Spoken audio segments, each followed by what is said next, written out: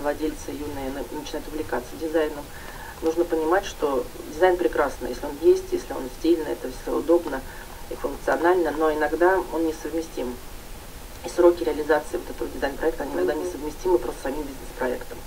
То есть нужно все это четко просчитывать, э, не то, что там 7 раз отмерять, а, наверное, 77 раз отмерять, потому что а, если бизнес не пошел, вероятность своих, э, вернуть свои инвестиции у вас будет нулевая.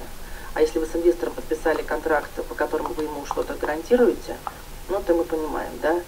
И плюс ко всему, э, тут еще есть такой важный момент, ваша семья тоже должна быть к этому готова. Не каждая семья, я знаю масса людей, которые, к сожалению, расстались со своими вторыми половинами, э, рушили семьи, люди теряли квартиры, люди теряли единственное жилье, то есть потом это все очень долго восстанавливалось, и это не самые глупые люди. Это просто ребята, причем они профессионалы, как бы тоже, которые поверили в себя, набрали вот этих инвестиционных проектов, там инвесторов набрали, набрали кредитов, и все, и они пролетели. Не всех получается открыть там 5-10 ресторанов. Да, когда у вас уже есть имя, вам деньги принесут, а когда у вас его нет, то вам наоборот придут деньгами. То есть одного желания мало. Конечно, Нужен нужно, профессиональный подход. нужен профессиональный подход и личное участие, личный контроль, разбираться во всем.